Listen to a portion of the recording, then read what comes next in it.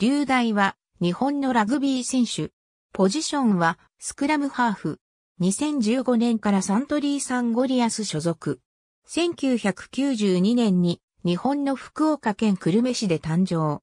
9歳の時に親の勧めでラグビーを始め、地元のラグビースクールに入った。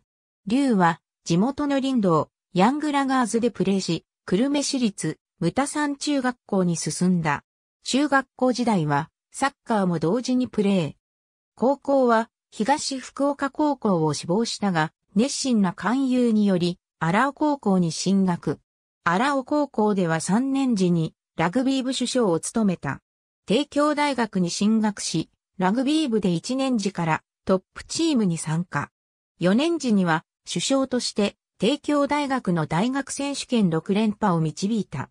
2015年3月、サントリーサンゴリアスは、流大の新加入決定を公表した。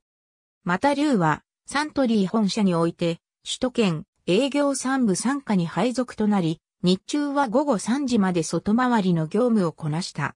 また、同年11月13日に行われた、ジャパンラグビートップリーグ第一節のパナソニックワイルドナイツ戦に先発出場で公式戦初出場を果たした。2016年、チームの首相に就任した。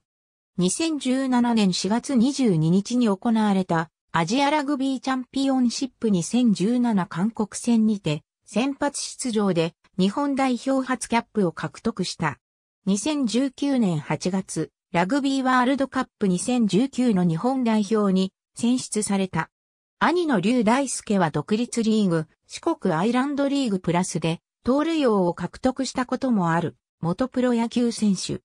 2015年からは、久留米市にて野球塾を主催しており、小中学生を指導する傍らで、川崎宗則や本田雄一ら NPB 選手の自主トレーニングの場としても提供している。